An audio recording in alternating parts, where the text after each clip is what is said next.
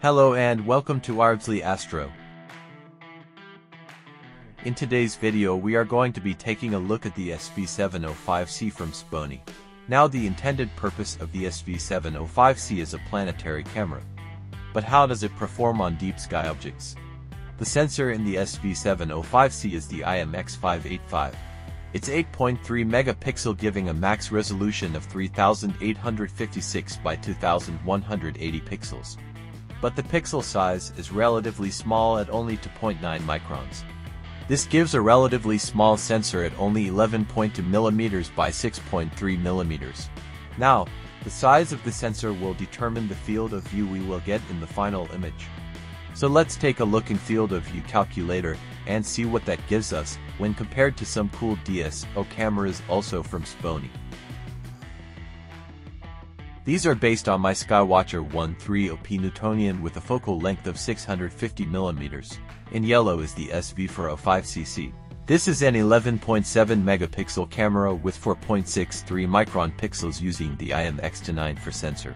In green we have the SV605cc, this is a 9 megapixel sensor with 3.76 micron pixels using the IMX533 sensor. And in red is the SV705C, it gives an image just as wide as the SV605cc but in a 16 to 9 format. We can see it perfectly frames the Dumbbell Nebula.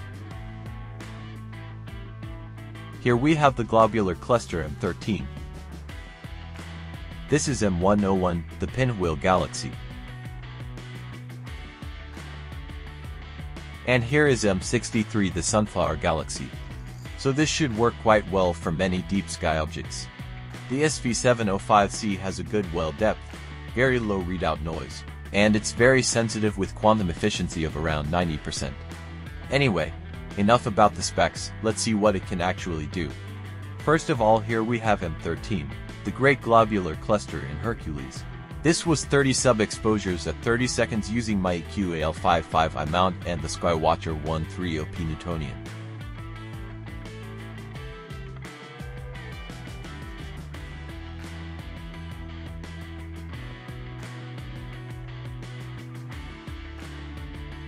But here is my best image to date. Here is M27 the Dumbbell Nebula. This was 74 sub-exposures at 1 minutes each. Both images were stacked in Deep Sky Stacker, background and noise removal in GraXpert, and final processing completed in Siril.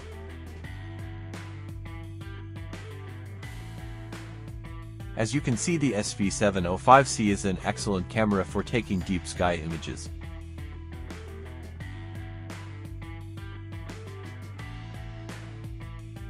Thanks for watching, I hope you enjoyed the video. Feel free to drop a like. And don't forget to subscribe.